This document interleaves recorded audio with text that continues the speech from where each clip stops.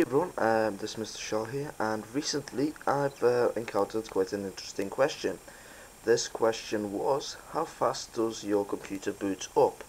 I am currently running a laptop here, it's an Acer Aspire 5630 series, and it's got a Core 2 Duo processor, uh, 1.66 gigahertz with a 2 gigs of RAM, and um, well I think it's decently fast. It boots up. I think it's within a minute.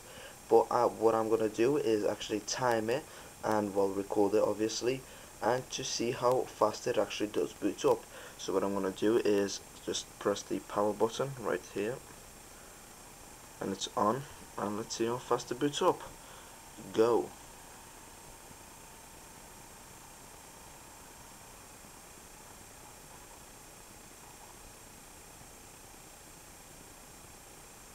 this is Windows Vista by the way so that does affect its boot up time.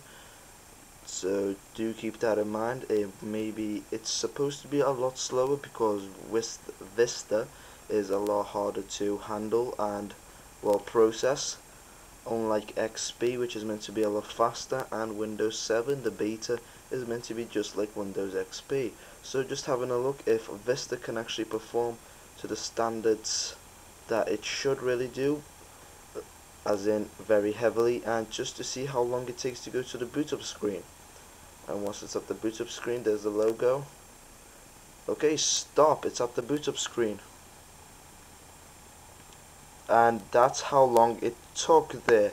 It should be flashing right in front of you right now. The time since I can't really time it because the camera can't pick up a, a watch pretty I mean a watch really well so therefore it will just flash in front of the screen right now. This is how long it took to boot up the computer.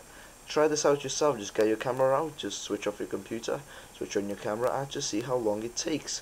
If you can beat my record well just post it down there and just post your specs of your computer the processor and the RAM as well as the operating system you're running. So thanks everyone for watching. This has been Mr. Shell. See how fast your computer is. Mine is the following time since I'll time it when I'm editing. See you everyone.